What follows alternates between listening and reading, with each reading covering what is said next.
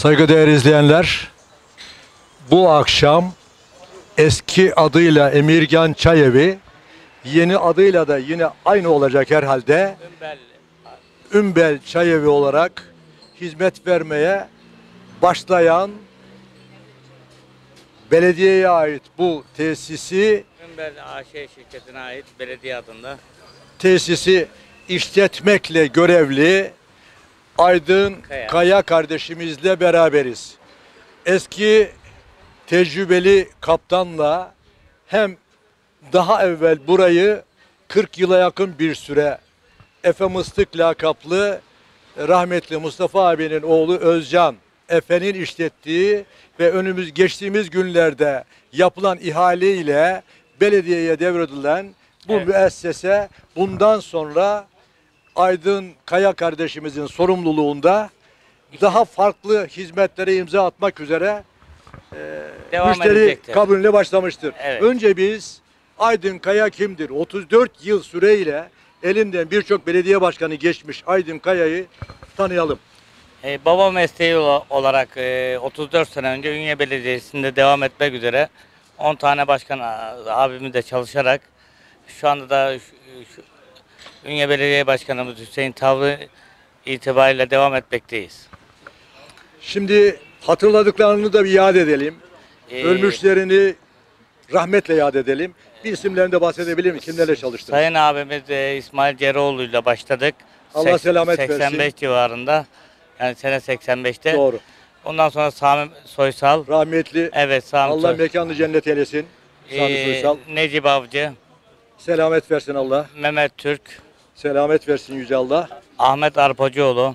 Allah selamet versin. Güzel. Ee, başka hatırlayabildiğimiz e, e, şeydi Osman Yurt, Osman Yurt. Ahmet Çamyar.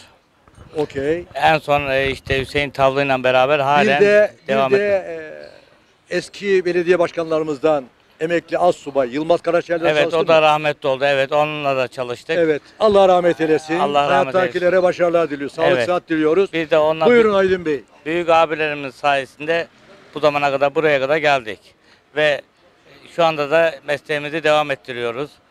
Ee, şu anki Hüseyin Tavlı Başkanımız, Ünye Belediye Başkanımız bize de bu görevi verdi. Onu mahcup etmemek şartıyla işimize devam ediyoruz.